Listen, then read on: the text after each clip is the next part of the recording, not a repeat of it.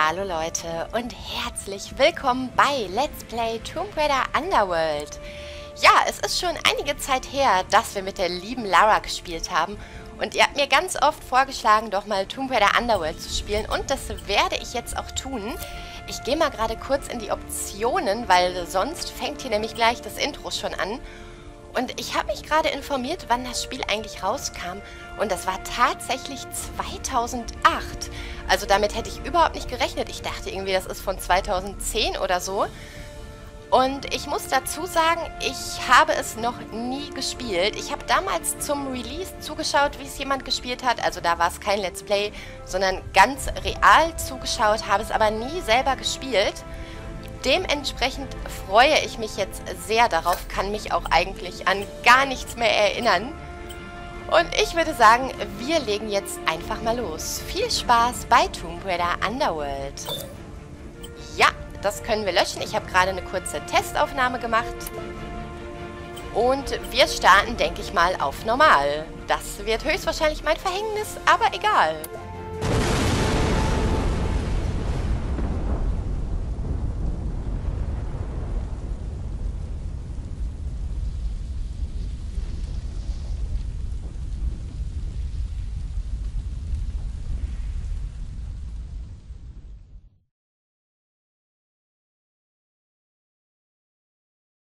Croft Männer brennt. Das ist gar nicht gut. Und was ich gerade vergessen habe zu sagen, das Ganze schließt an an die Ereignisse in Tomb Raider Legend. Und wir erinnern uns, dass Lara da auf der Suche nach ihrer Mutter war, die angeblich irgendwo in Avalon sein sollte, sofern ich das jetzt noch richtig in Erinnerung habe.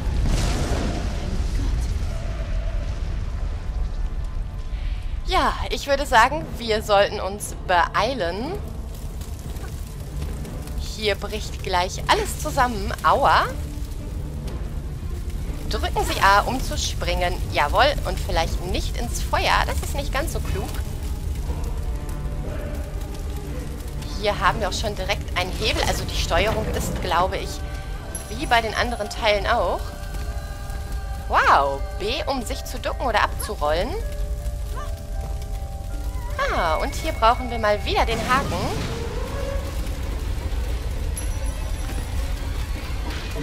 Ah, die Musik gefällt mir gerade gar nicht. Ah, okay, da können wir dran springen. Oh, oh.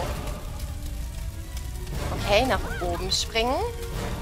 Wir können auch wieder ein bisschen schneller klettern. Das ist sehr schön. So, kommt sie darüber? Nein! Wow, das geht ja super los. Auf jeden Fall. Das gefällt mir doch. Aber ich weiß, wie es geht. Ich glaube, ich bin einfach nur ein wenig doof gesprungen. So, runter. Am besten hier ganz an den Rand, weil eigentlich müsste sie doch dahin kommen. Jawohl.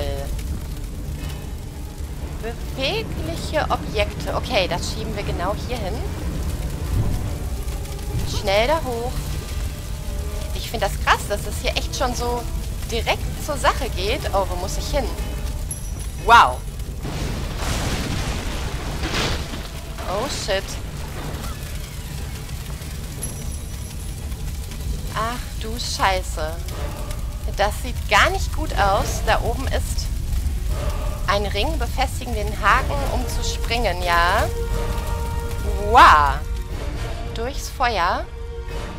Okay, Moment. Kommen wir eigentlich hier in die Tür rein? Nee, leider nicht. Drücken Sie B. Achso, hier muss ich nach unten. Gut. Pass auf! Warten Sie! Das ist Laura. Ich weiß. Warte!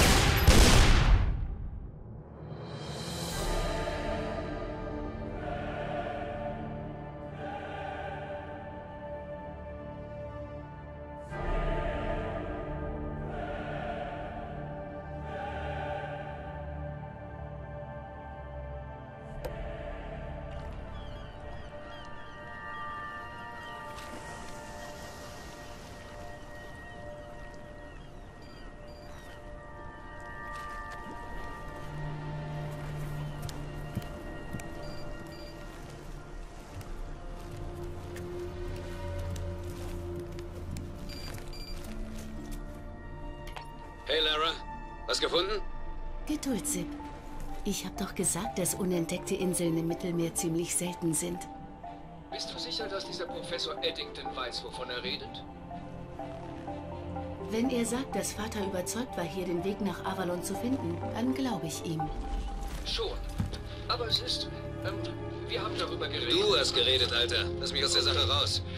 Vielleicht gibt es Avalon wirklich, aber weil dir irgendeine Verrückte erzählt, dass deine Mutter noch lebt. Ich meine, ich, ich will ja nicht herzlos erscheinen, aber die, die Vorstellung, dass deine Mutter in, in irgendeiner keltischen Unterwelt lebt, ist irgendwie krank, findest du nicht? Ich mache mir keine Illusionen, dass meine Mutter in irgendeinem mythischen Paradies Hof hält, Alistair. Was ich will, ist die Wahrheit. Egal, wie sie aussieht. Ich rufe dich später an.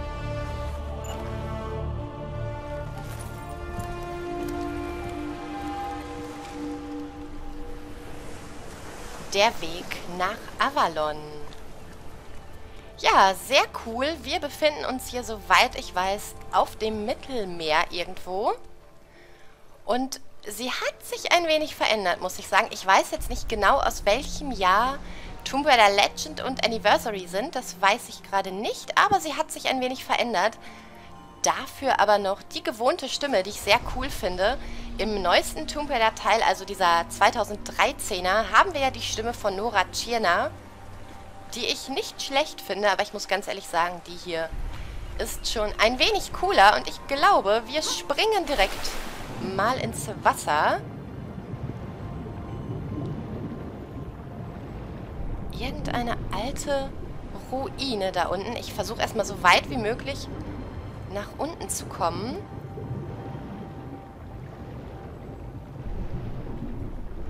Das sieht schon ziemlich cool hier aus. Und wir haben gerade schon den Hinweis bekommen, ja, wir bekommen ihn wieder, wie wir hier auf Feinde schießen können. Ah, da war doch einer. Ich habe ihn gesehen. Ein Hai. Na Mensch. Bist du tot? Ich hoffe es. Nein, die sind nicht tot. Ich dachte, der wäre tot. Ah, jetzt aber. Okay, den kriegen wir auch noch. Ich würde die hier echt sehr gerne erstmal töten, bevor ich weitermache. Weil sonst überraschen die mich nachher noch. Laura, es wäre sehr schön, wenn du den hier anvisieren würdest. Auf den hier schießen würdest. Aber nein. Wow, das war knapp. Na, komm her. Ja, jetzt kommen sie beide. Genau, erst will keiner und dann kommen beide. Aber ich glaube, das war es jetzt. Oh, das schon richtig cool hier aus. Dann schwimmen wir nochmal hier rein. Drücken Sie Back, um den PDA, PDA zu aktivieren. Okay, was haben wir da? So Nahkarte, Gebietsinfo. Aha. Oh, 26 Schätze. Sechs habe ich. Warum habe ich sechs? Ich habe nur eine Testaufnahme gemacht und kann mich nicht daran erinnern, hier einen gefunden zu haben. Aber oh, okay. Wir schwimmen erstmal hier hin. Und da unten haben wir eine Art Hebel, den wir auch brauchen, da wir, ja, dieses Tor hier irgendwie öffnen müssen. Wir brauchen aber noch einen. Und ich kann mal zugeben, in der Testaufnahme vorhin habe ich das schon gespielt. Und ihr seht ja, dass hier oben schon einer drin ist. Also eins dieser Räder. Ja, und in der Testaufnahme habe ich dann auch den zweiten gefunden, habe aber nicht gesehen, dass der dritte bereits drin ist.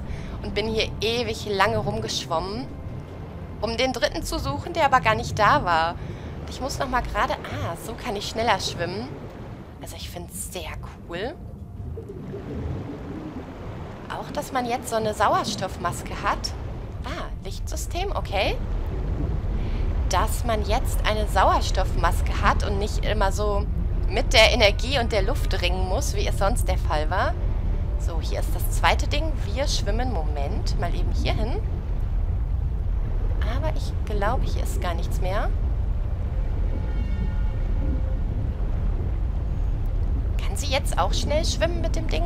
Nein, ich glaube, das geht nicht.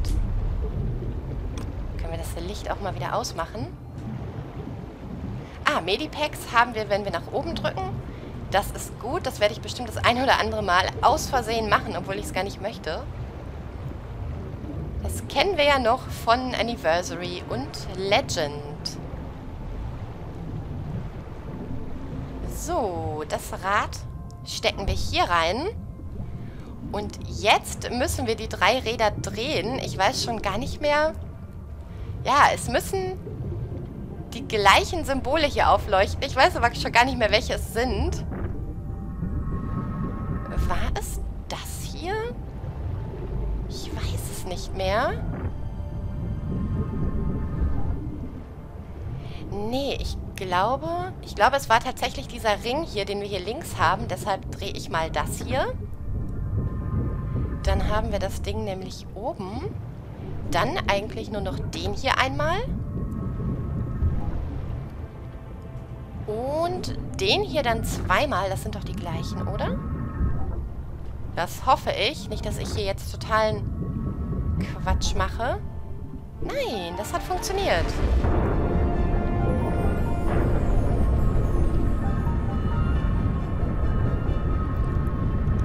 Sehr schön. Oh, ich finde das mit den Quallen hier so cool gemacht. Wobei, ja, LB, um zu sprinten oder schneller zu schwimmen, das habe ich schon verstanden. Wobei die Quallen natürlich nicht gerade freundlich zu Lara sind. Deshalb ein wenig vorsichtig hier durch. Ja, wow! Wow! Was war das? Ein Aal? Sowas wie eine Seeschlange? Ich weiß es nicht. So, kommen wir hier schon hoch? Jawohl, sehr schön. Gut, und wie immer ist sie natürlich nass, wenn sie aus dem Wasser steigt. Das finde ich ja jedes Mal ziemlich cool gemacht. Und wie ihr seht, stehen hier ab und zu mal ein paar Vasen oder andere Gegenstände rum, die man zertreten kann. Ich glaube, da habe ich in der Testaufnahme einen Schatz drin gefunden. Wow, das war cool, Laura. Und sie kann auch, das möchte ich gerade mal eben ausprobieren, so ganz cool irgendwie an die Wände springen. Ja, so, finde ich total geil. Werden wir auch bestimmt das ein oder andere Mal noch brauchen.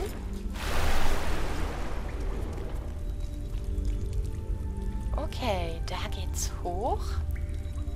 Ist auch sehr schick in ihrem Badeanzug oder ja, Taucheranzug. Sieht auf jeden Fall schick aus. So, nach oben. Moment, da sind Vasen, die möchte ich sehr gerne zertreten. Also ich werde hier, das wisst ihr ja, das habe ich bei den anderen Teilen auch so gemacht, ich werde hier kein 100% Run oder so machen. Moment, wo kommen wir denn da hin? Also ich werde nicht alle Schätze suchen. Ich werde wirklich nur das mitnehmen. Was hat mir das denn jetzt gebracht? Keine Ahnung. Ich werde nur das mitnehmen, was ich wirklich auf meinem Weg so finde. Und wenn ich dann mal ein oder zwei Schätze nicht finde, oder auch zehn oder zwölf, dann ist das auch nicht so schlimm. Hepp. Und hier runter. Da runter. Und hier runter. Okay, zwei Schlangen, würde ich mal sagen. Es sind Schlangen. Machen wir mal das Licht an. Und an dieser Stelle, also bis hierhin habe ich auch in der Testaufnahme gespielt, hatte ich echt ein paar Probleme, weil diese Gewichte hier, die müssen wir nämlich da drauflegen.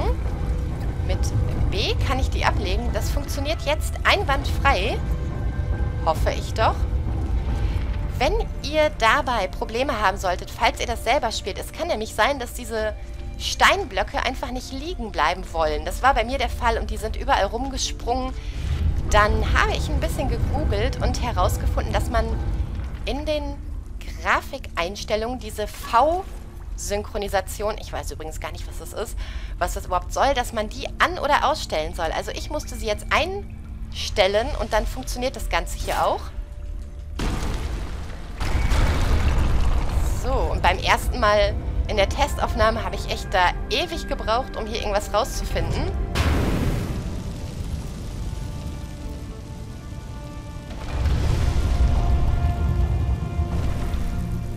Unglaublich. Die Schnitzereien ähneln germanischen Arbeiten, sind aber wesentlich älter. Nie im Leben fünftes Jahrhundert. Und seltsam, trotzdem viel aufwendiger.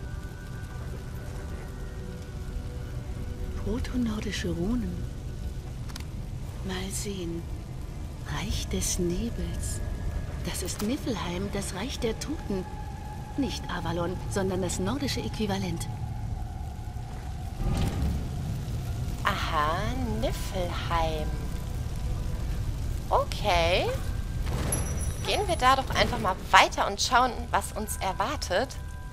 Schön, dass ich direkt jetzt mal zum Anfang weiß, wie der Hechtsprung funktioniert. Ich habe es ja in den anderen Teilen so gut wie nie hinbekommen oder erst ganz zum Schluss. Diesmal weiß ich es direkt. So, haben wir hier noch was Schönes? Vielleicht mal... Laura, was machst du? Vielleicht mal ein Medipack. Ich habe nämlich noch gar keins. Und ich hätte sehr gerne eins. Äh, komme ich da einfach so runter? Okay, Moment. Kann ich mich runterlassen? Kann ich, aber das bringt mir nichts. Okay. Nee, ich glaube, von hier geht's nicht weiter. Die Kamera ist manchmal ein bisschen schnell, finde ich. Nee, Moment. Hier bin ich auch nicht richtig. Gehe nochmal runter. Ähm. Wo? Ah, ich muss nach oben. Okay. Nein, ich komme von hier gar nicht nach oben. Komme ich von hier nicht nach oben? Das geht echt nicht. Moment, ich kann aber auch nicht... Hallo? Was ist denn jetzt los? Ach, natürlich. Natürlich. Ich muss hier durch. Kann ich auch ein bisschen schneller laufen? Nee, leider nicht. Aber da können wir uns wenigstens ihren schönen, trainierten Popo angucken. Ist ja auch immer ganz nett. So. Was war das denn? Ach, das war ein Medipack. Ja, cool. Ist da hinten noch irgendwas? Nein. Da können wir rein theoretisch rüber. Okay.